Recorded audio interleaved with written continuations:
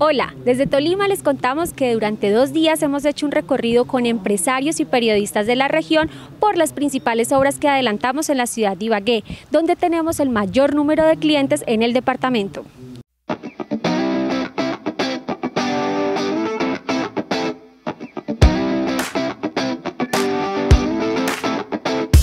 Estos recorridos son muy importantes porque le estamos mostrando a la comunidad qué es lo que estamos haciendo, le estamos mostrando la realidad para mejorar el servicio.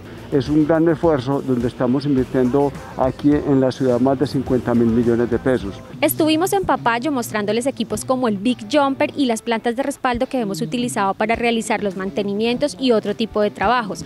Además les enseñamos la tecnología de punta que hemos instalado en subestaciones como La Miel, La Arboleda, la subestación Vergel y la subestación San Jorge en Ibagué.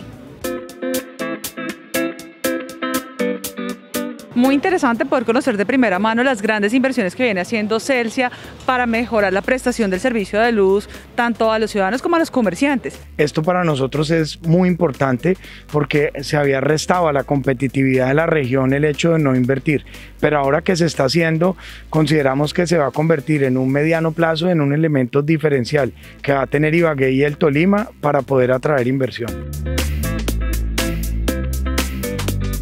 Este recorrido era muy necesario para los medios de comunicación, ya que nosotros somos los que informamos a la ciudadanía los procesos que viene desarrollando Celsia en el departamento del Tolima. Nos permite ser testigos de las inversiones contundentes que se han hecho en materia de infraestructura, en subestaciones, siempre orientadas a garantizar la prestación del servicio. Esto demuestra el interés nuestro para que la gente conozca de primera mano las obras y las inversiones que venimos adelantando en la ciudad de Ibagué y el departamento para mejorar la calidad del servicio de energía. Celsia, la energía que quieres.